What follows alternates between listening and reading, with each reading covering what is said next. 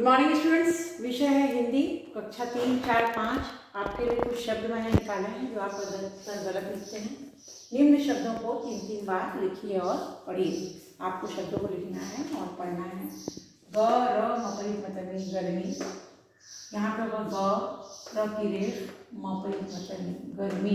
पहले रेफ पढ़ते ग, र, मपरित मतनी यहाँ ग में र लगा हुआ ग्रीष्म आधा श सटकोण वाला म।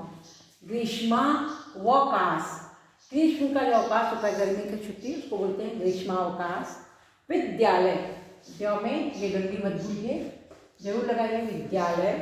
विद्यार्थी तो विद्या र थी विद्यार्थी। शिक्षक शिक्षक में आपकी पूरी मात्रा यहाँ तक होनी चाहिए। प में र चार्य और लगाना चार्या लिखना हो तो यहाँ पे डंडी लगा के रेफ लगा देंगे ऊपर अध्यापक अ या अध्यापक। अत्यंत अ आधा त महत्व म त महत्व और महत्वपूर्ण मतलब इम्पोर्टेंट महत्व पपरूप मतलब पूर्ण पूर्ण। प्रेषित। प्रेषित मतलब जब किसी चीज़ को हम किसी के सामने रखते हैं तो बोलते हैं प्रेषित करना। तो में र, ए की मात्रा, शब्द की मतलब त प्रेषित।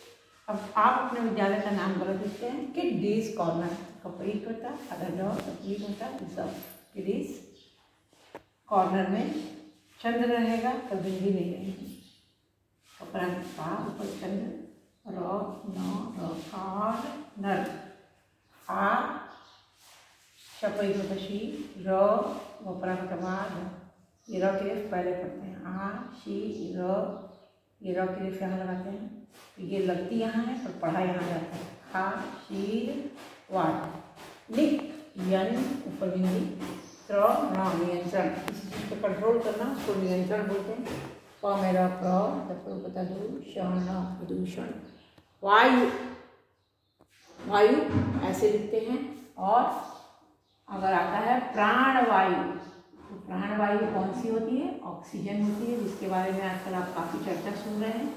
यह है प्राण वायु। ऐसे लिखा जाता है। कृपया इसको दो तीन बार सुंदर लिखें और पढ़ें। इन शब्दों को दोबारा कभी गलत ना करें।